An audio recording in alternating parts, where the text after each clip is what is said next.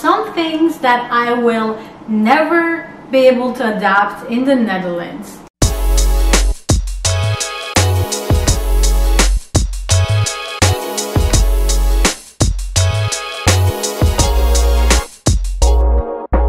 Hi guys, welcome back to another episode of Making It in Holland. If you're new here, so nice to have you.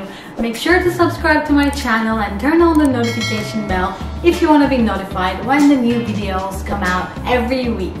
Some of you already know me, you know that I've been living in the Netherlands for 10 plus years, so I spent most of my childhood here and currently I am living and working near Rotterdam and there are some things that I've really got accustomed to over these years. I mean, I have to admit, I'm becoming more Dutch every day, little by little. Uh, but there are some parts of me that is still very Turkish that I am having a hard time letting go. If you're interested in some ways that I've become Dutch, uh, make sure to click the card above. Uh, there's a lovely video about some money management tips that I've learned from the Dutch over the years. But now let's get into this week's video, which is about some things that I will never be able to fully adapt as a Turkish person living in the Netherlands. The first thing is taking the bike as a form of transportation. Now, if there are Dutch people watching me, you guys probably think this is crazy because everybody in the Netherlands bikes pretty much anywhere, everywhere, all the time. But as someone who's from Turkey, the idea of biking as a form of transport to get somewhere is still so foreign to me. I think maybe because this comes from the fact that I'm from a culture where biking is very much seen as an exercise. So people take out their bikes for half an hour to an hour, exercise a little bit, bike around like my dad does this a lot and just sort of come back home with the bike, park it, and then just go about doing your daily life things using either the car or public transport.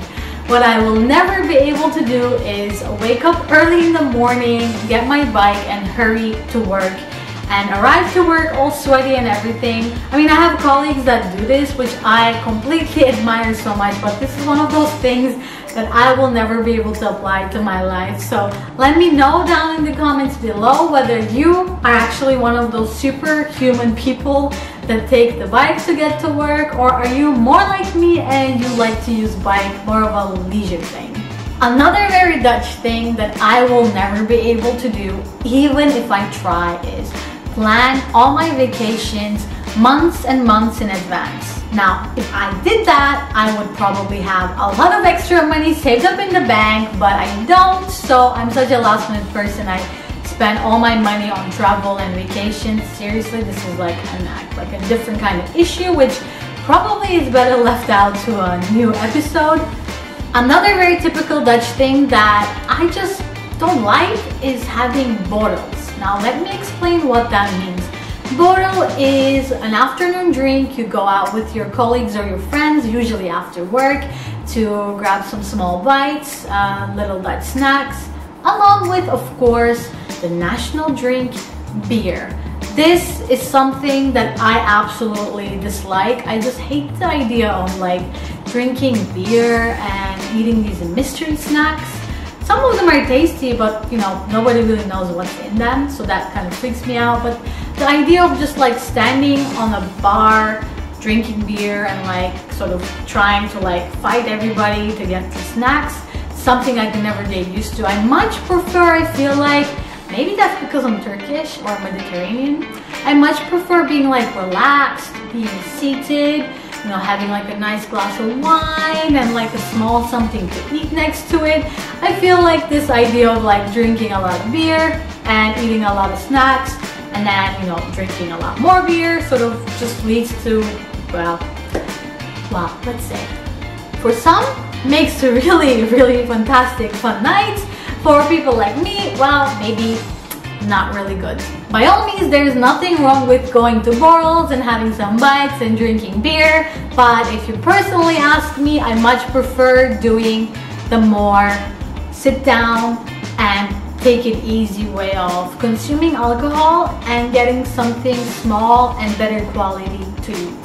Okay, I'm a little bit hesitant talking about this one because I feel like in the comments I might get a lot of hate, but hear me out. I will never ever go to Amsterdam on King's Day. King's Day is celebrated during the springtime, end of April every year, as a symbolic birthday of the king. It used to be Queen's Day actually. And you know what? It's funny because when it was Queen's Day, I would actually celebrate it more often. And after it switched to King's Day, I don't celebrate it at all. Maybe because they don't make these cute t-shirts anymore that says I'm a queen for the day. Well, you know, those were the times. But a reason why I will never go to Amsterdam on King's Day is that literally there is not like a like a millimeter square of space for you to be able to like walk, breathe, like you just have no personal space.